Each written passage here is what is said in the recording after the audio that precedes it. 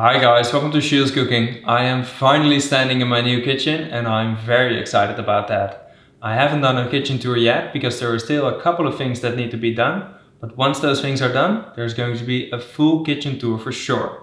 But that's it for now about the new kitchen because we're going to make a delicious dessert today with some rhubarb, strawberry and yogurt.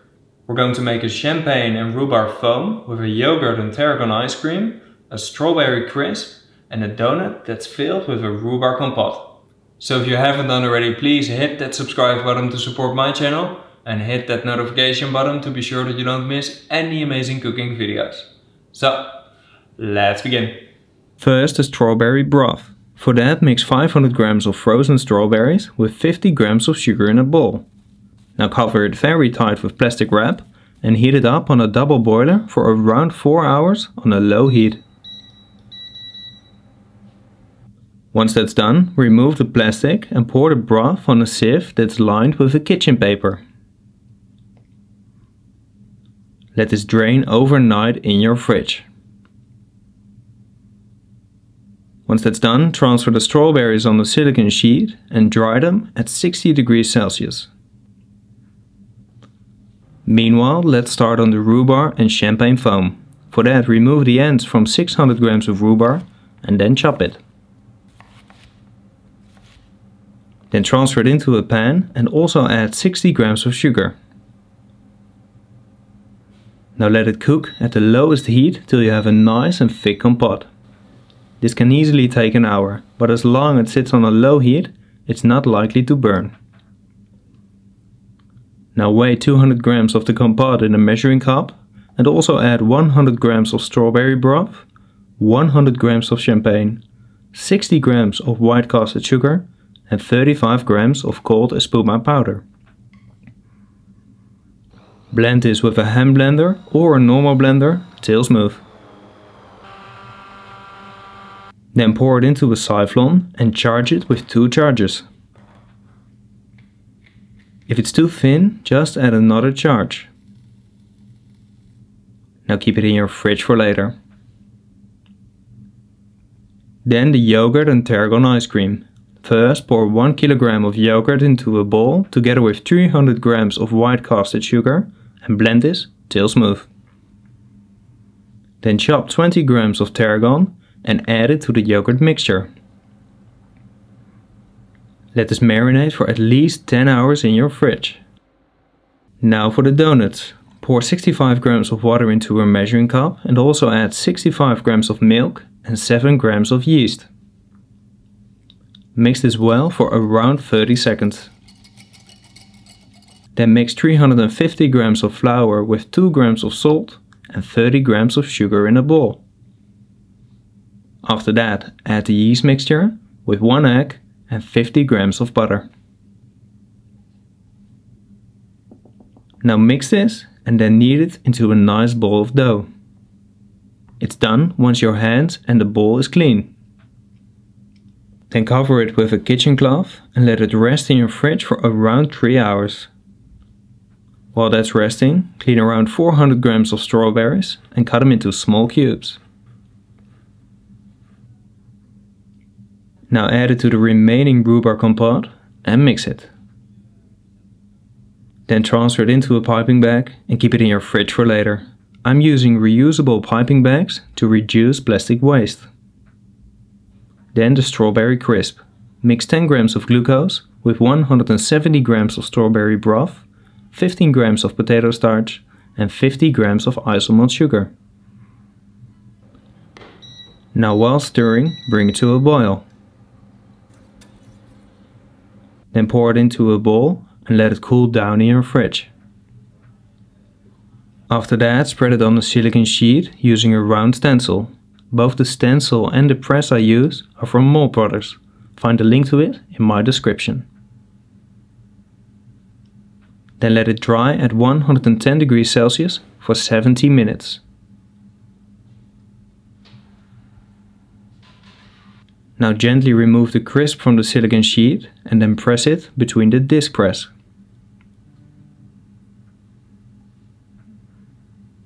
Then let it cool down and keep it dry and covered for later. Now for the tarragon oil. First clean enough tarragon for 30 grams of leaves. Transfer them into a blender and also add 200 grams of neutral oil. Then blend this till it's at 65 degrees Celsius. The oil will heat up from the friction. Once that's done, pour the oil on a sieve that's lined with a kitchen paper and let it drain in your fridge. Now it's time to finish the ice cream. First pour your yogurt mixture through a sieve into the ice cream machine and spin it into a beautiful ice cream. Then cover it and let it set in your freezer for at least 30 minutes. By now the strawberries are also completely dry, so we can transfer them into a blender and blend it into a fine powder. And keep it dry and covered for later. Now back to the donuts. Dust your worktop with some flour and roll out the dough till it's around 1 centimeter thick.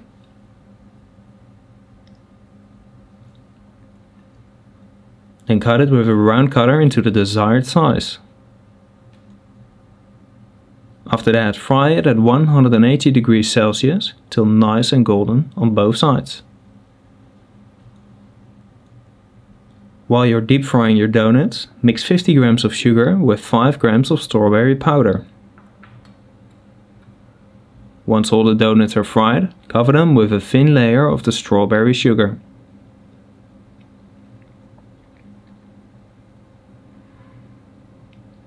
Then take your rhubarb and strawberry compote and fill your donuts as full as possible.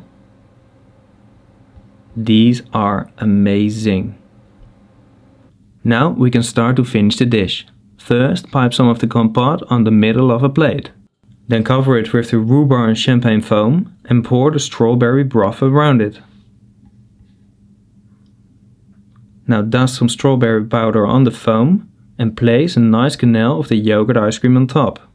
Drizzle some of the tarragon oil on there and top it off with the strawberry crisp. And now I serve it with a freshly baked donut. Okay guys, that's it for today. I must say I can't wait to share this video with you because so far I already had a little look at the footage and I'm very pleased with the result. Um, I'm also very pleased with this result because um, well it is already a little bit melted because I had to take the photos and everything but it still looks pretty tasty so quickly gonna dig in. Uh, that crunch of the crispy. That's, yeah, that's amazing. Let's dig in.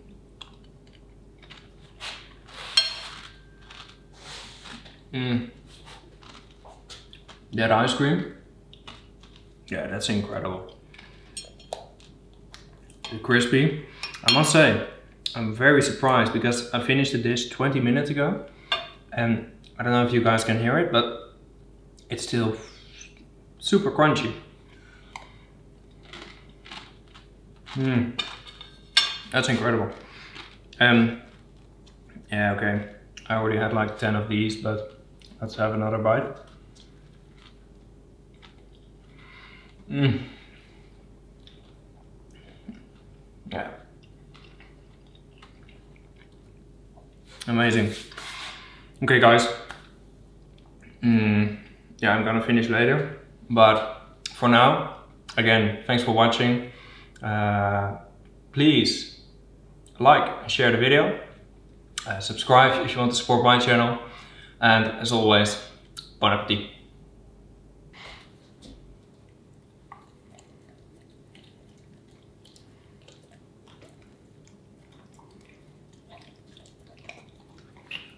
It's so messy, dude.